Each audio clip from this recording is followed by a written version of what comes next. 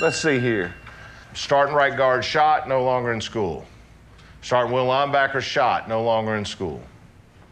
Two players fighting right in front of the coach. Starting center arrested. Most coaches, that would be pretty much a career's worth of crap to deal with. I think that sums up the last two weeks for me. For almost 14 years, we never won a football game. Oh my God in heaven. Chavis has serious anger issues. Stop. Stop. You go over there, Mike. Montrail is dealing with the death of his father. When he died, I knew I was on my own. Number 77, O.C. Brown. OC's grades wasn't up like they supposed to be. He's going to lose an opportunity to go do something with his life. I want them to rise above the inner city knock.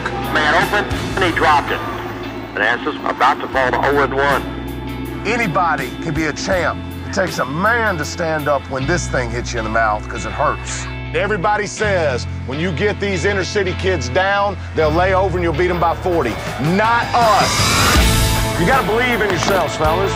Boy, those guys have taken some beating here. There's a Manassas player down. God, I hope we didn't just lose him.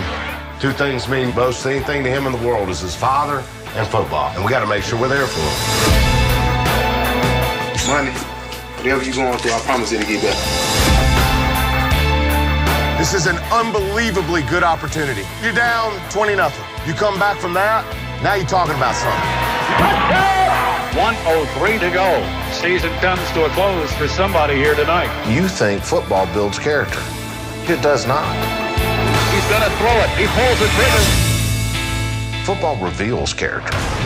This is it!